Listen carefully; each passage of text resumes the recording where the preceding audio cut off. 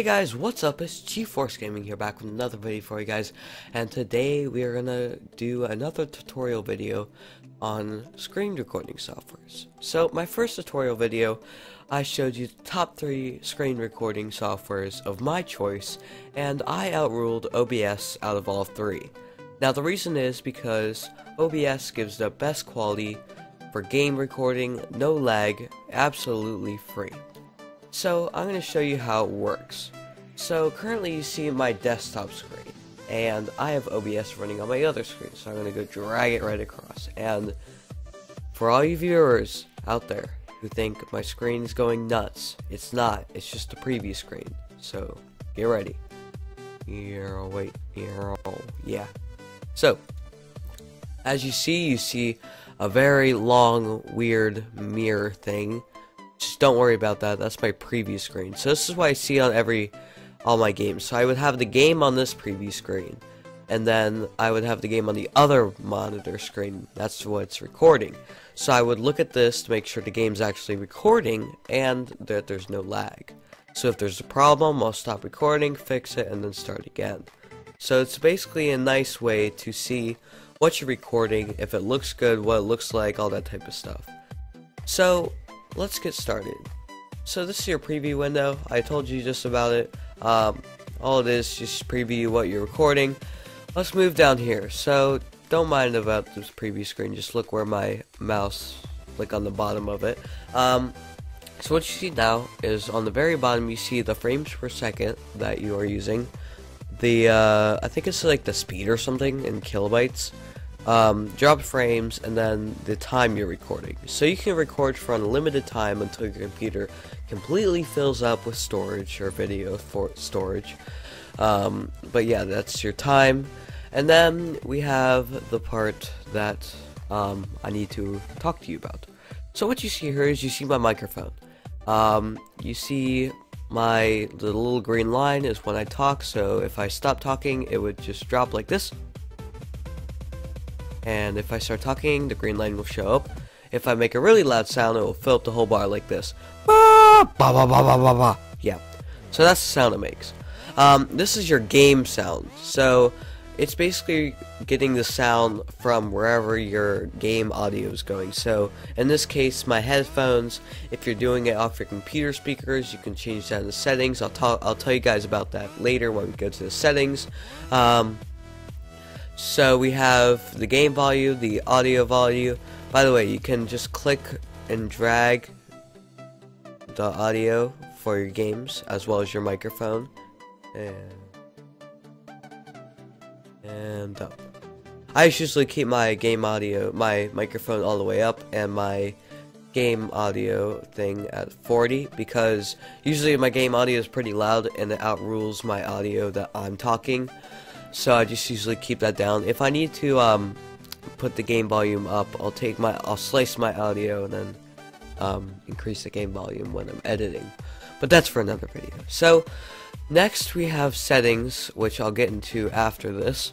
We have edit scene, which basically lets you change your screen. So let's just click that.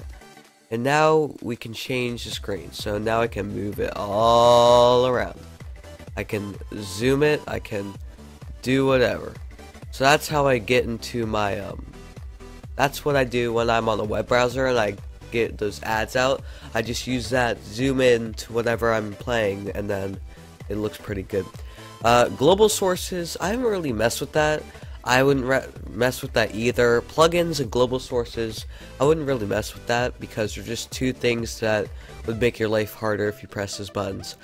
Exit, just basically close the program.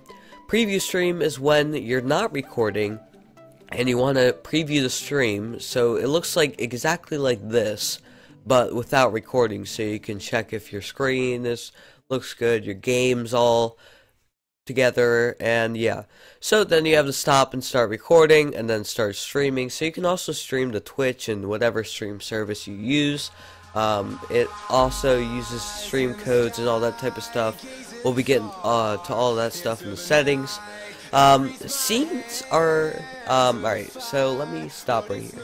Scenes are like a basically a folder of video sources you can go to. So I, I just have one video source, but if I create a new one, my screen is just going to go black. Um, so I'm not going to do that right now. But what you see is webcam, which I haven't programmed yet, and Thing 2. So Thing 2 is what you're seeing right now. It's my desktop screen. That's what I usually use to record all my games.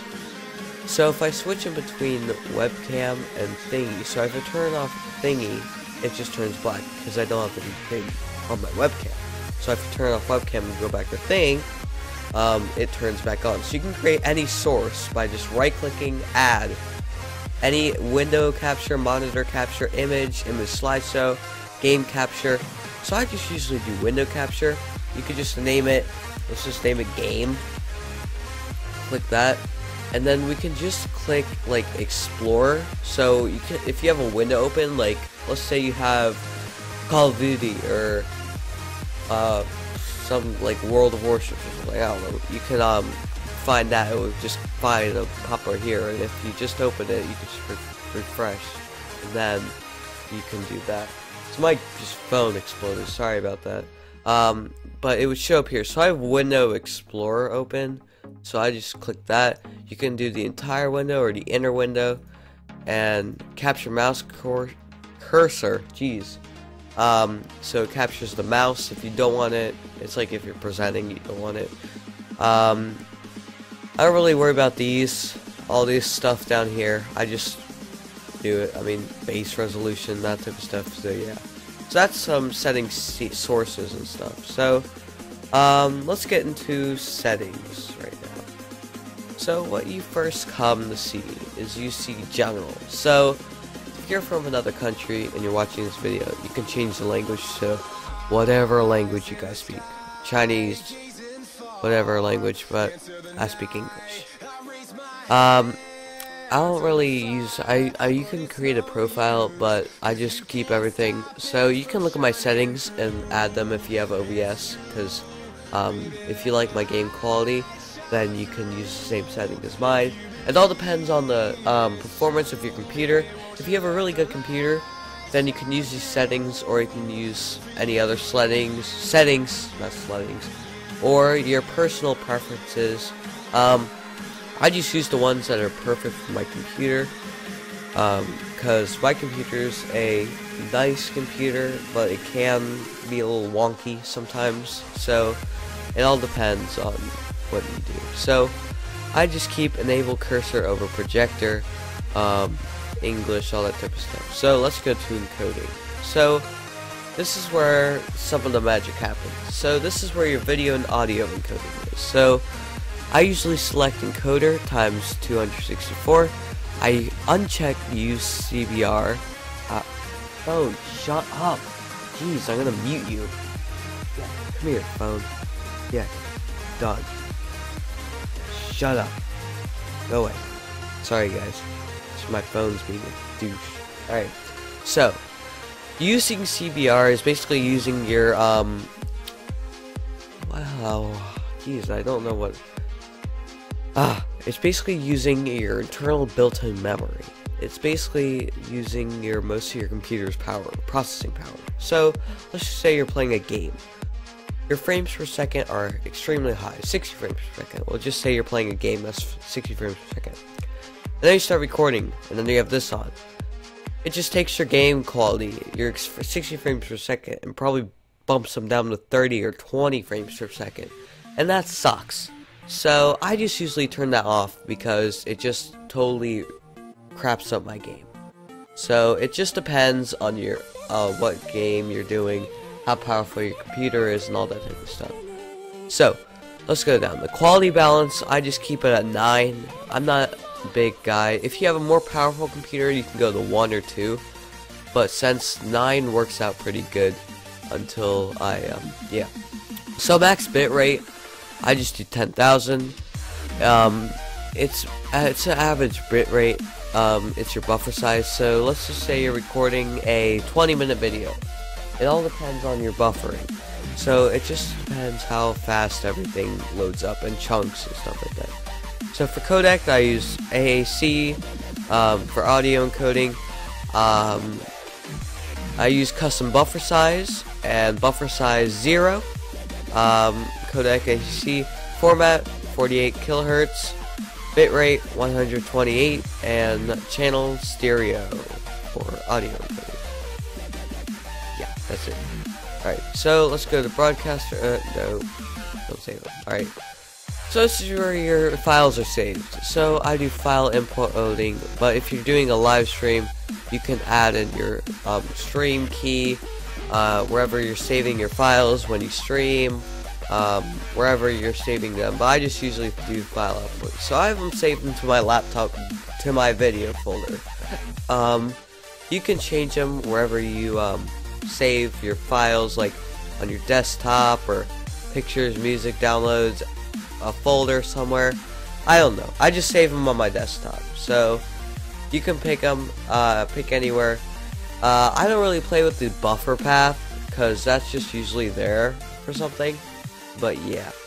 So let's go to our next thing. Video. No, don't change. Right.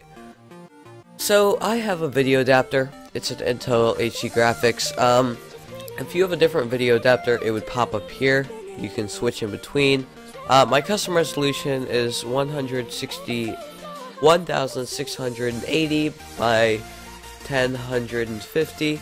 Um, aspect radio, aspect radio, aspect ratio. Jeez, wow, I'm way behind. Um, is 8.5. Resolution downscale is 1.5. Now, if you have a more powerful computer, you can go up on these numbers, but since I like to keep mine simple and not crapping up my computer, I keep it a little bit downscaled. Um, it all depends, really, what you guys have for a computer. Uh, now, this is what this what gives the best. This what changes the size of your file. So, if you have this, it would give a a smaller file. If you have this, um, good detail, that means that your file is going to be a little bit larger than usual. And if you have this, it basically makes your file in the gigabytes. Now, if you're recording a long video, like 20 to 30 minutes, that ought to be, that ought to be 1 to 2 gigabytes of um, video. And I don't like when stuff fills up my memory. I have like four backup drives, but I just don't like when it fills up my internal memory because it's like total crap. That's because that's where I store my games and stuff. So frames per second, I'm not gonna tell you what frames per second you guys should use, but I use 35 because it runs smoothly on my computer. Not a lot of lag and image quality is pretty good. Um, if you have a little bit bad, if you have a bad computer, um, I'd go for 30 or 25 because this is what this is what's taking off your game um, frames per second. So if you're running 60 frames per second, you have 35, you'll probably go to 50 or 45 frames per second. But it's not really a big change to your game audio and your game video and stuff. So let's go to the microphone. So I use the HyperX gaming headset, um, but this is where the audio comes in. Now this is pretty cool. I like what OBS is doing here. So this is they can change your audio so let's say you have your headphone plugged in, but you have also some speakers, some Logitech speakers or something like that, and you have plugged into your computer. It would show up here as some as some speakers right here. So I have a microphone, my um, computer speakers, my headset, and my default speakers. So what I'm using now for my game audio is my headset. So whatever audio plays from my headset is going to play on the recording. So that's what you guys hear in my videos. Um, my microphone, I have a Blue Yeti microphone, which I got over the Christmas time, which you guys are hearing me on now. Um, I also have a microphone on my headset, microphone on my computer, and then just default stuff. Um, I don't really worry about these. These are just defaults. They come on um, when you've already got the, the software. So I don't really mess with these. If you're like a audio and video technical person, you can screw around with those. I don't really care. Hotkeys are your own personal um, thing. I just use X and Z to start and stop recording because those are the keys I barely use like in games and stuff. It's usually WASD or the um, up, down, left, right keys. Um, I don't really know. But I just used Z to start, X to stop, and then I just have none because I don't really I don't stream, so I don't have any stream uh, keys or anything like that. And I don't know what the um, other stuff is, but these are like mute mic keys. So if you're like streaming and you're like, well, I'm gonna go get a drink of water, I'll just press number zero and it mutes my mic. So that's all the stuff. Now advance is where the magic happens for video and uh, not not a lot of audio. But alright, so I'm gonna give you all my settings here. It all depends on what settings you like. Don't um, if your if your audio if your video sucks after this video and you try all my settings, your your setting my settings are probably not um, for your computer. It's just a difference between your computer and my computer. My computer is probably better than your computer, or your computer is probably better than my computer. I don't know. Um, it just all depends on your computer. So, let's start. Um, all of this is just on your thing, but this is where the video is. So, for this, I use very fast. Now, super fast and ultra fast are for those good computers. But if you have a sucking computer, faster and fast would be pretty good for you. But very fast is for those uh, normal and good computers. Um, encoding profile, high. Um, keyframe interval will be 2. Use CFR. Now, on the other one, you wouldn't use it, but on this, you would. Um, custom encoder settings, that's off, not on. Um, encode in full range is off. Um, this is off. Audio, force desktop audio to use time lapse as base audio time. Keep that on. And everything else is off, um, except blind to interface is default, and then everything that is 20. Um, quick sync encoder, I don't touch this. This is on its own track right here. It already has some default settings that you get when you download it. You don't really have to mess with this. But if you're like a geek of this stuff, then you can do what you like. Microsoft Noise Gauge, um, it basically changes how your audio thingy sounds. So it's milliseconds attack time um, enabled noise gauge. So you basically see my talkingness. See, you can see talk. Oh, yeah.